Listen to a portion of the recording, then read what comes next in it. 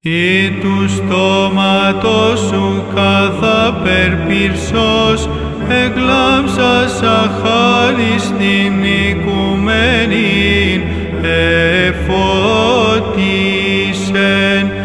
αφιλαργυρία στο κόσμο, θησαυρούς εν απέθετο,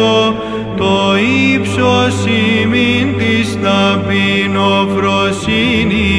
εις υπέδειξεν, αλλά στις λόγις παιδεύων Πατέρ Ιωάννη Χρυσόστομε,